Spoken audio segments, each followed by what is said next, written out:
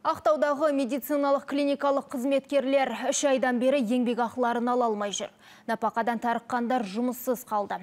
30-дан астам қызметкер еңбек инспекциясының алдына жиналып наразылық білдірді. Бұған жауаптылар не дейді?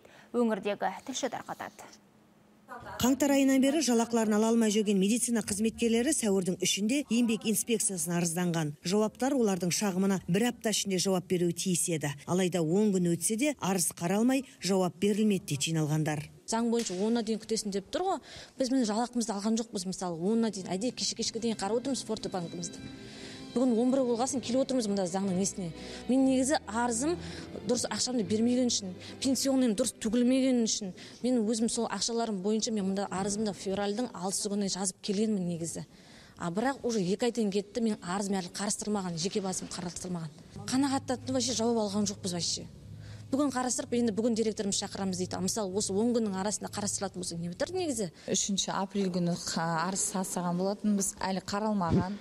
Ешқандай жұмыс жүрмеген. Ә, не себептен екен? Олар өздерінің мына жұмыс ә, несіне қара байланысты жұмыстың көптігіне байланысты біз қарай алмай жатырмық деп сондай түсініктеме беріп отыр.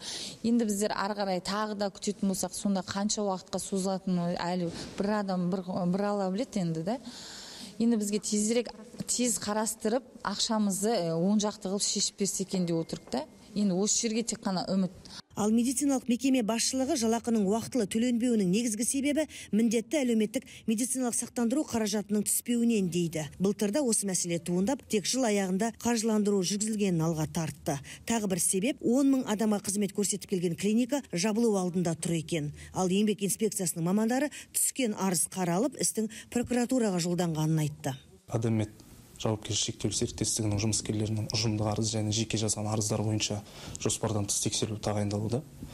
Ә, тексеру қорытындысымен тексеру ә, қорытындысымен барлық ә, нәтижелерді көрсетеміз. Тексерудің жоспардан тыс тексерудің жұмысы бес жұмыс күнде жүреді. Еңбек инспекциясы мамандарының айтуынша заң талабы бойынша жұмыс беруші жұмыстан шығарылған қызметкерге еңбек ақысын үш жұмыс күні ішінде төлеу керек екен. Ал медбикелерге тексеру жұмыстарының өзі бір аптадан екі айға дейін созылуы мүмкін екені ескертілді. Енді медицина қызметкерлері тексеріс нәтижесін күтеді. Жазира қуанышбекқызы мұқағали нұрдәулет алматы телеарнасы ақтау.